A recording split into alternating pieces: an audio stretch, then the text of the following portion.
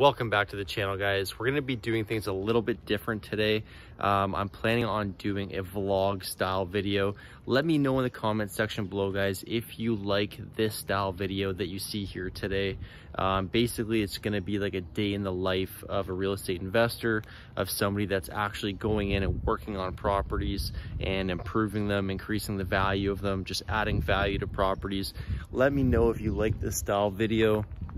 Um, Today we have a lot of big things happening. We have the drywall being delivered and drywall is going to be uh, installed tomorrow. It's June 1st today. Super exciting to be having the drywall going up. I'll show you what we're planning on doing here. This is a really tough project. Um, if you see, this is the house behind us and we need to get drywall all the way up into this attic. So as you can see, the windows have already been installed, those beautiful black windows.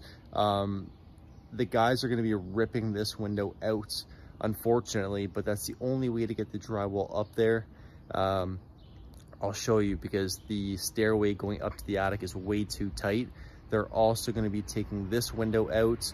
Um, hopefully, I don't think they have to rip it right out, but maybe just pop the window out um, to get the drywall on that floor and then everything else will be walked in on the main floor and then walk downstairs into the basement. This is a whole house being drywalled.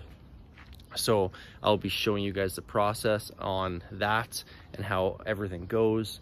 Uh, apparently they're gonna be bringing like a, a little crane here to get everything up there, which is super cool. And yeah, follow along today. As I was saying, guys, there's the drywall. I'm up on the second floor right now. I don't think that's all of it, and they're also waiting for a crane. So, and that might be the crane down there. Anyways, guys, the reason why it's being craned is because look at that stairwell there. It is super tight. This is about two feet, and there is not a lot of headroom to get up into the attic. So as we come up here, look at that beautiful attic. They're gonna be using this window right here. They're gonna actually, it sucks, this is a brand new window, but they're gonna be popping it out and craning all the way up here, which is gonna be kind of cool to see, but not cool that they're ripping out my beautiful window. So it is what it is. The guy in the crane is saying that they can't hit the attic now. That it's too far away.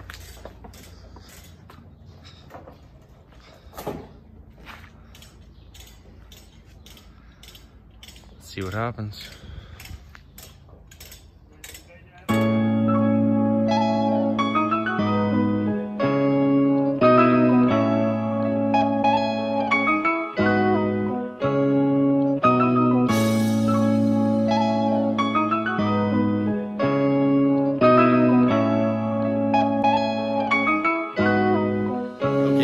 As I was just saying, and as you saw, they're setting up the spider crane, but he's saying that he's not going to be able to reach um, up to the attic because the addition on the house is, it protrudes too far. So the reach on the boom is going to be too far. Um, anyways, this guy just has a terrible attitude. It's Monday morning. The guy does not want to work. Um, you know, I said just fucking do it. Like, let's go. Enough, enough excuses. Check it out. I said enough excuses. Let's fucking get this job done. And uh, I had to call his boss and, and whatever. Then the next issue was that they say they don't pull out windows. And uh, we just had our windows freshly installed. So, you know, they don't want to do it. Um, I didn't really come prepared today to do it, but we need to get the job done. So guess I'm pulling out a window and we'll see how that goes. And uh, yeah, just I'm, I'm crossing my fingers here that he will be able to reach the attic. I'll pull the window up myself and let's get this job done. Okay, so this window is so hard to pull out. There was spray foam, shims, so many hidden screws, but I did eventually end up getting it out as you guys will see. Um, thank goodness I had one of the workers actually come up and help me pull it out at the end. Maybe I'll let you go up first.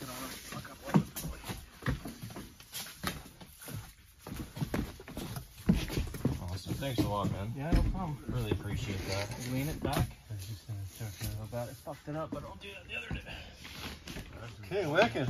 That's be one hell of a fucking 45 coming through that window. Yeah, you know what the distance is? Corner to corner? So, um, it would have fit with uh, with the with the window in place, but the guy said I risked damaging the window, so to take it out, right?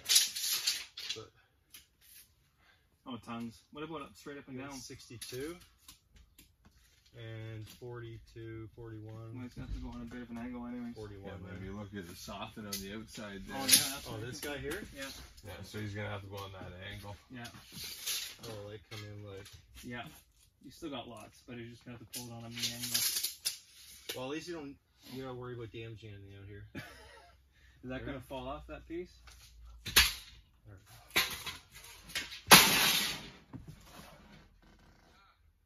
Not much. Oh, it's a special one. Window is out in one piece. Wow. First time ever taking in a window, especially on a third story. That was something else.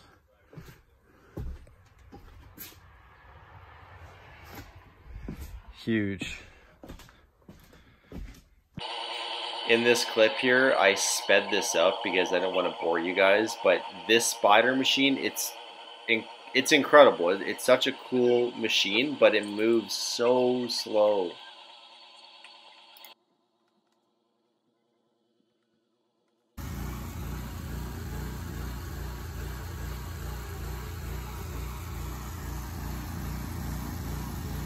Drywall is up in the attic. Thank God these guys were able to get it up through this window. Or window opening, I should say.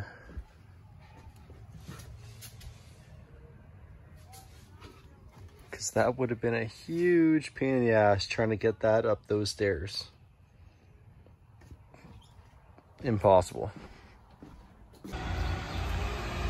More material being delivered. We got all the plywood that we're going to be sheeting the floor with and some insulation and a bunch of other goodies.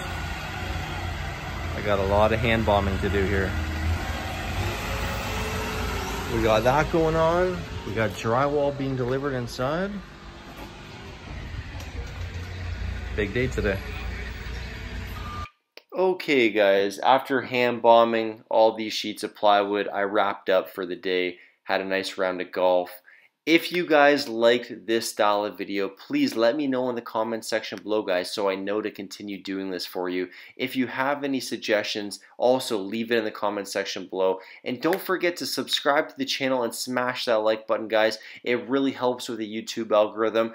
Thank you so much for watching. Until the next episode, take care, be safe.